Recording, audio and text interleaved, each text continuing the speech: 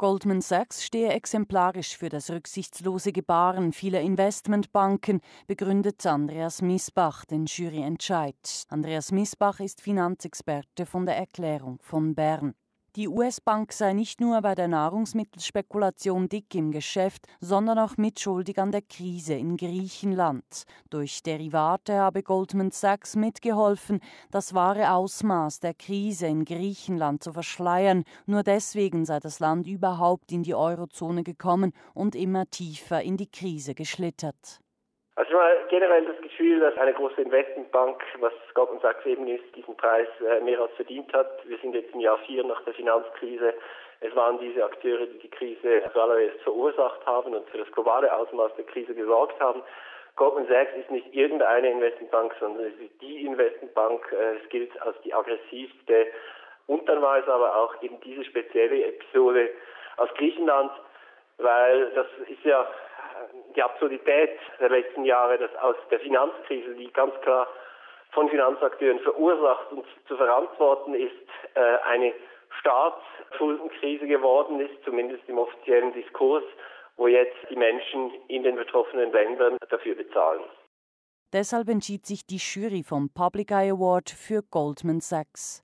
Der Publikumspreis ging dieses Jahr an Royal Dutch Shell. 21.800 Personen haben online ihre Stimme abgegeben für den niederländisch-britischen Ölkonzern.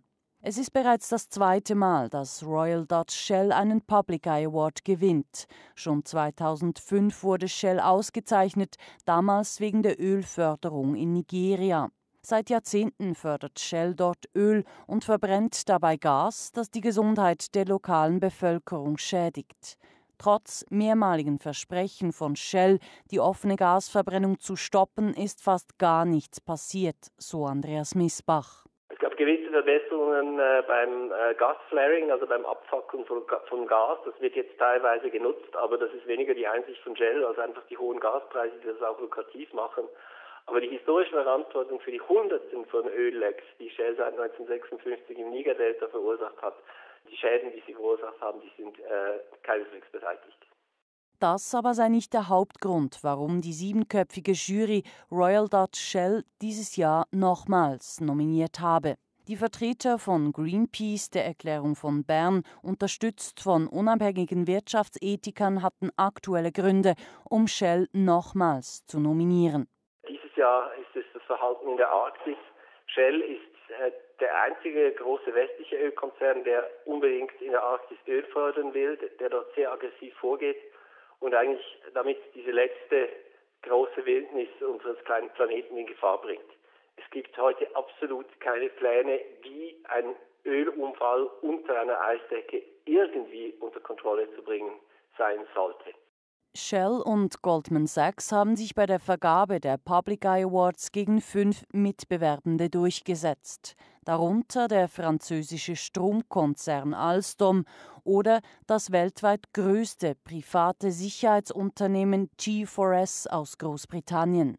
Die weltweit größte Sicherheitsfirma mit 650.000 Menschen unter Waffen, also das ist die größte Privatarmee der Welt, tätig in allen Konfliktgebieten von Afghanistan über Irak bis zu den besetzten Gebieten in Palästina und dort beispielsweise auch in Tätigkeiten verwickelt, die die Genfer Konvention verletzen. Dies zumindest die Einschätzung unserer Experten vom Institut für Wirtschaftstätigkeit der Uni St. Gallen, die eine unabhängige Einschätzung aller Nominationen gemacht haben. Ein Mann, der lange Jahre am Institut für Wirtschaftsethik in St. Gallen tätig war, sitzt mittlerweile in der Jury vom Public Eye Award. Die Rede ist vom renommierten Wirtschafts- und Unternehmensethiker Dr. Ulrich Thielemann. Fast zehn Jahre lang war Thielemann an der HSG in St. Gallen tätig. Weil er seine kritische Haltung gegenüber dem Neoliberalismus sehr offen äußerte, wurde Thielemann für die HSG offenbar untragbar. 2009 hat er vor dem Finanzausschuss des Deutschen Bundestags gesagt, die Schweiz sehe nichts Unrechtes darin, Ausländern bei der Steuerflucht zu helfen. Daraufhin wurde er in der Schweiz scharf kritisiert und wurde nicht wiedergewählt. Dafür kann Thielemann jetzt mitwählen, welche Unternehmen für die Public Eye Awards nominiert werden.